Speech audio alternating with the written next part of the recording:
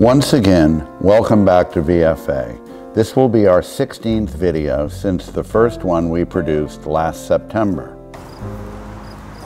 Hi, I'm Vincent Vallarino. Instead of shying away during the past 20 months of the pandemic, we moved forward purchasing 350 works of art. Come on into my world. We have stretched our imaginations, showing how our taste is ever evolving as our curiosity continues driving us to new places. We have also just completed our 200-page annual catalog titled Abstract Addictions, Paint It Black, which will be mailed in early November due to the shipping congestion currently happening in New York Harbor, but can be viewed on our website shortly. Our annual catalog is our signature statement that no other gallery comes close to producing.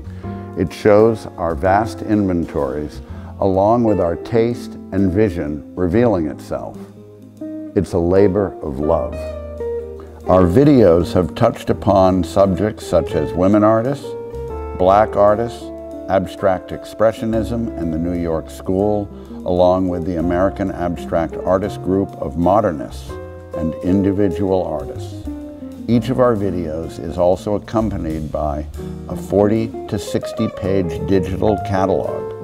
We will continue to produce two videos each month, one being of recent acquisitions as we are always purchasing new works.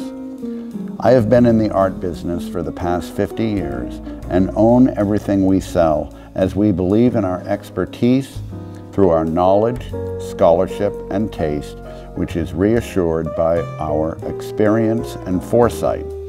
15 years ago, we became a private gallery because it was apparent that our audience was focused on what we owned and represented, making our business intimate and personable, unlike many larger galleries. We have a beautiful 3,000 square foot townhouse located at 222 East 49th Street, next door to Katharine Hepburn's old residence. There you will find our in situ viewing with mid-century furnishings as one would in their own home instead of a white box gallery setting. We also have a 6,000 square foot studio in Millbrook, New York, 85 miles north of the city in the Hudson River Valley, which was originally part of Henry Flagler's family's estate.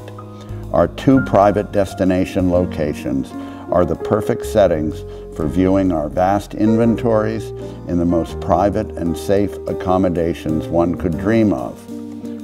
For me, art is the purest addiction that exists, and over time have realized that its eclectic relationship with color, form, and space connect everything in the most mysterious of ways.